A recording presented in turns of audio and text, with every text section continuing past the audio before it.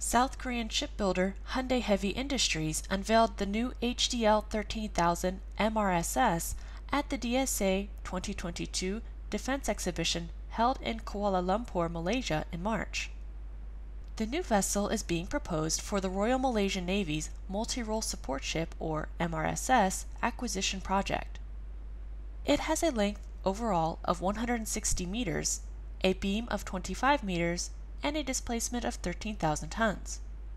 This vessel is intended to serve as a main platform for the force's logistics support and also humanitarian and disaster relief operation.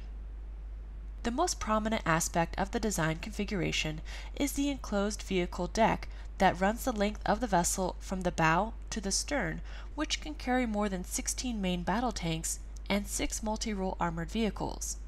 The aft portion of the vehicle deck also serves as a well deck. A side port ramp and a stern gate provide access to the vehicle deck.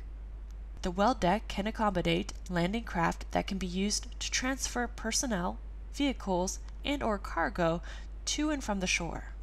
The main gun of the ship is a 76mm naval gun system by Leonardo in the Strales variant, meaning it can fire guided anti-air ammunition.